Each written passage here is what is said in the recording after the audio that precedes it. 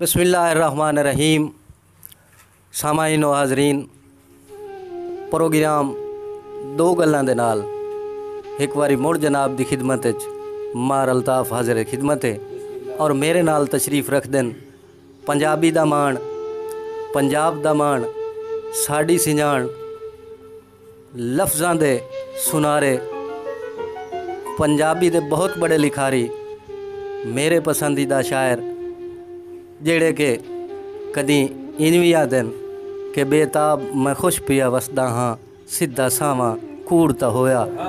जनाब ਮੁਹਤਰਮ मुहिउद्दीन बेताब साहब। आप तमाम अहबाब दी तालियाँ दी गूंज तशरीफ़ लाया आंदन जनाब मुहिउद्दीन बेताब साहब। बहुत शुक्रिया अमार अलताफ़ साहब।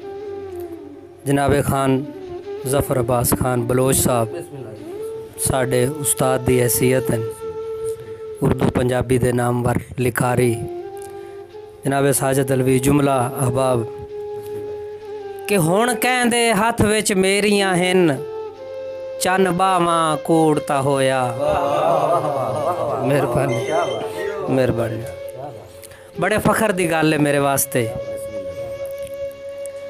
ਹੁਣ ਕਹਿੰਦੇ ਹੱਥ ਵਿੱਚ ਮੇਰੀਆਂ ਹਨ, ਚੰਨ ਬਾਵਾਂ ਕੂੜਤਾ ਹੋਇਆ। ਕੋਈ ਮੇਰੇ ਪਾਰੋਂ ਬਾਂਦਾ ਹੈ, ਮਲ ਰਾਵਾਂ ਕੂੜਤਾ ਹੋਇਆ। ਤੇ ਜਿੱਥੇ ਬਾਂਦੇ ਹਾਸੇ ਵਿਸਰ ਗਈਆਂ, ਉਹ ਜਾਵਾਂ।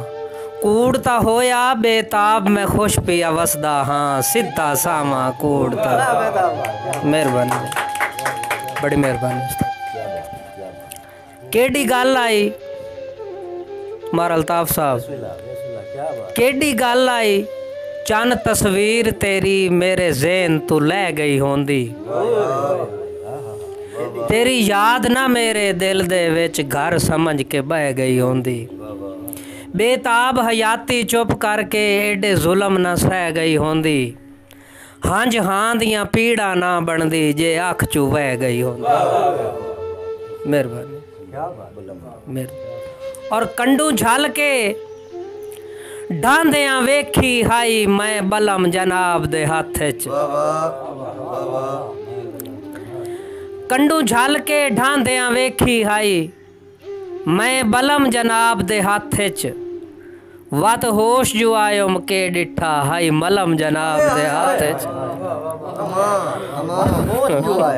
ਕੇ ਡਿਠਾ ਹਾਈ ਮਲਮ ਜਨਾਬ ਦੇ ਹੱਥ 'ਚ ਸਮਝੇ ਬੇਤਾਬ ਤਾਂ ਕੇ ਸਮਝੇ ਜੂਹੇ ਅਲਮ ਜਨਾਬ ਦੇ ਹੱਥ 'ਚ ਖੁਦ ਫੈਸਲਾ ਲਿਖ ਮੈਂ ਦੇ ਛੋੜੀ ਅੱਜ ਕਲਮ ਜਨਾਬ ਦੇ ਬੜੀ ਮਿਹਰਬਾਨੀ